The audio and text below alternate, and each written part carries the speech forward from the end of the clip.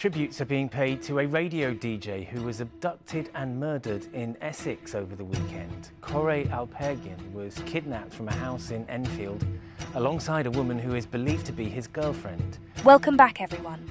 Today's video is going to be an emotional journey, delving deep into a chilling story that shook the core of the UK as well as the Turkish and Cypriot communities. It's a case of utter brutality, music, and love. This is the case of Mehmet Koray Alpergin, before we embark on this journey, if you enjoy content like this, make sure you're subscribed and hit the notification bell so you won't miss out on future videos. Now, let's dive into this. Mehmet Koray Alpergin, a name that resonated with the beats of the London music scene. His charisma and talent as a DJ weren't just confined to the nightlife, they echoed across his Instagram, where he mingled with the likes of Sean Diddy Combs and Salt Bae. The glamorous facade, a blend of exotic travels and high profile connections painted a picture of a life many envied. Beyond the glitz of his online presence, Mehmet had a significant impact on London's music landscape.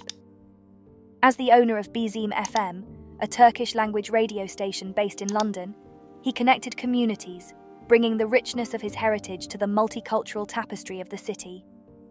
However, beneath the surface, Mehmet grappled with financial challenges and, according to prosecutors, was entangled in the shadows of the drug trade and organised crime. The summer of the previous year marked a shift in his demeanour, as friends noted his departure from the happy go lucky spirit that defined him. Mehmet's girlfriend, Gozde Dalbudak, was born and raised in Turkey. Gozde ventured into the field of finance, carving out a professional niche for herself. Their relationship catapulted her into a world of opulence mingling with celebrities and indulging in the allure of Mehmet's seemingly extravagant lifestyle. This was her first time in the UK, and he was showing her all the sights and attractions that London had to offer. Fast forward to the ominous night of October 13th. Mehmet, ever the showman, took his girlfriend, Gozde Dalbudak, to an upscale restaurant in Mayfair, London. Little did they know, this would be a night that would shatter the illusion of their glamorous lives. This was the last picture to ever be posted on Mehmet's Instagram. As they returned to Mehmet's flat in Enfield, North London, the shadows of an elaborate plan began to engulf them. Mehmet's enemies, orchestrating from a Turkish cafe in Edmonton, North London, tracked their every move using a meticulously planned operation.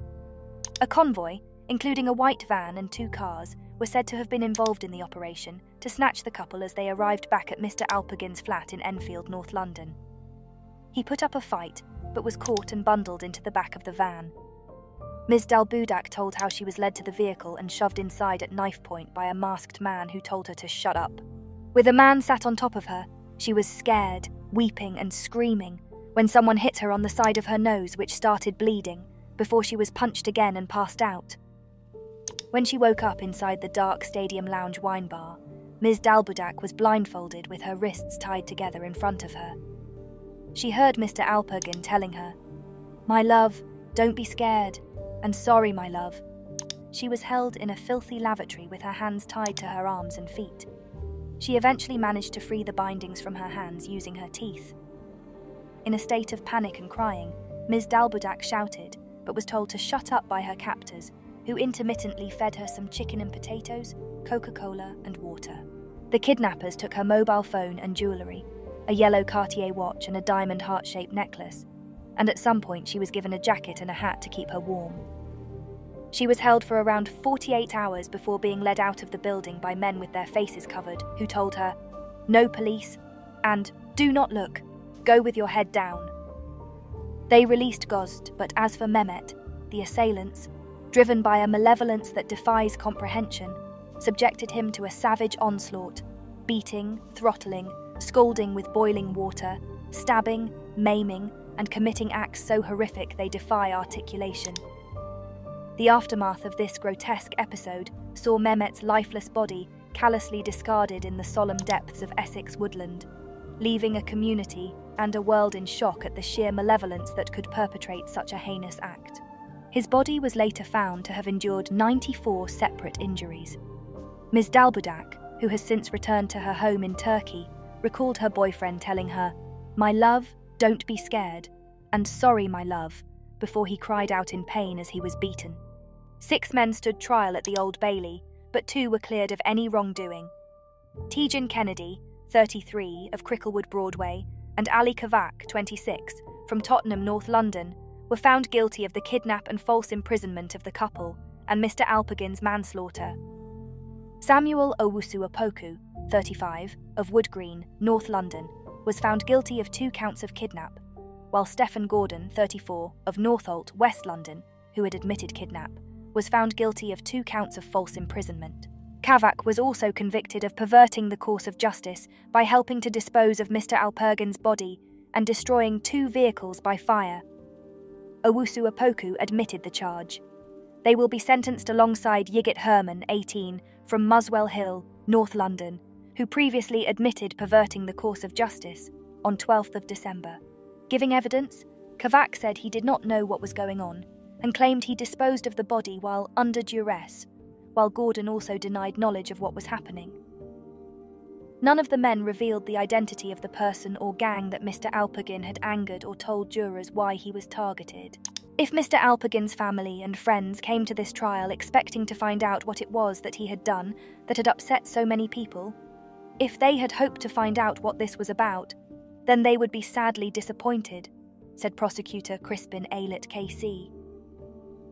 The motive behind Mehmet's gruesome fate remained elusive, casting a lingering shadow over his legacy.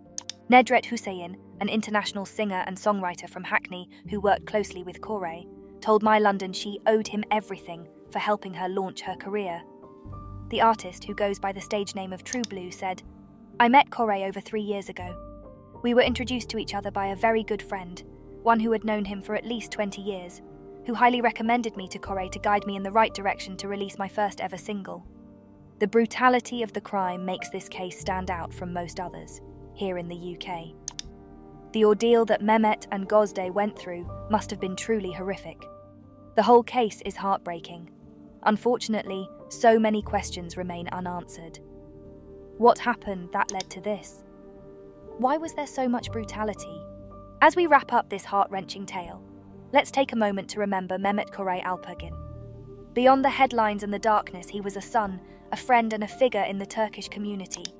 May his soul rest in peace. If you feel like we deserve it, please leave a like and subscribe to the channel.